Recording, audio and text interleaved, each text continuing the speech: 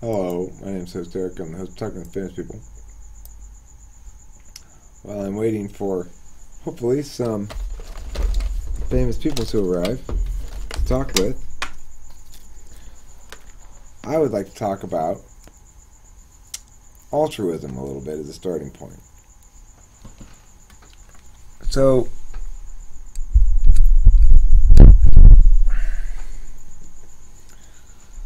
I tend to talk a lot about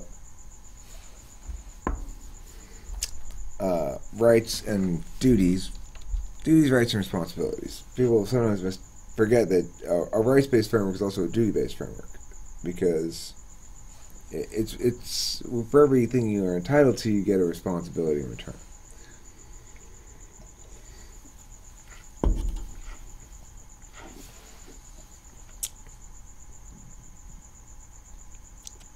Altruism is a different matter. And it occurred to me tonight, I sort of noticed, realized, understood, probably for the first time, how challenging it is to find a good example of real altruism. And how difficult it is to, in fact, come up with a way to manifest real altruism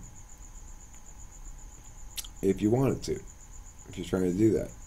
The reason it's a challenge is because a truly altruistic act has all the following qualities. Number one, it's unsought by anybody. In other words, you aren't doing it because somebody seeks it, wants it, whatever. So, number two, a truly altruistic act is something that is actually appreciated by the other person. It's not sought by them, but it's appreciated. And number three, it's not perceived as charity in the sense that it doesn't. And number four, it doesn't come along with an obligatory reciprocal expectation. So, one of the things about reciprocity, of course, is that gift giving and allowing others to demand things of you can imply that you then will get to demand things of them. So, when you are doing something altruistic, I think you have to sort of take a utilitarian calculus on what counts as altruism. If they're expecting it, if you know you're going to have some sort of reciprocity out of it, regardless of whether that's why you're doing it, it doesn't really count as altruism. Not really. It's, I mean, it may be motivated thusly or something, but anyway.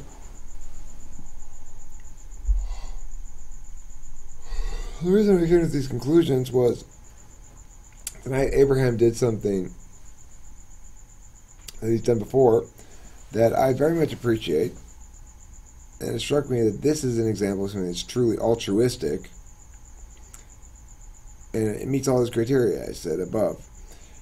Namely, when I have coffee, he will open my little creamer things for me and set them and hand it like set them up for me before I even think to look for the creamer or anything.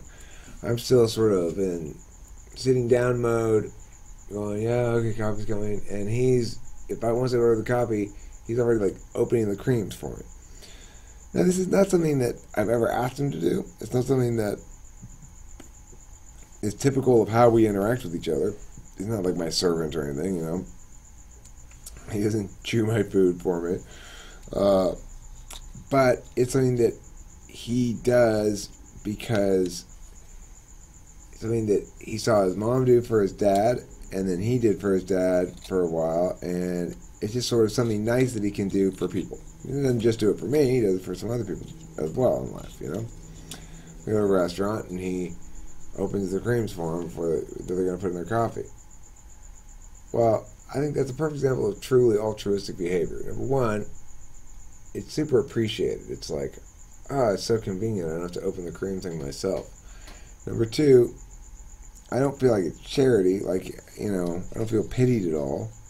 Number three, I don't feel like I owe him anything for doing that. He's just a nice little gesture. And therefore, he's not expecting to get anything out of it. Not gonna. He doesn't need to get out of it. And that's altruism. And but most of, what I find most interesting about that example of altruism is the way in which it made me realize that when we talk about altruism most of the time, it's very difficult to find a truly altruistic act to use as an example uh, for analysis purposes. That's one. Abraham being straight up altruistic. Next part to talk about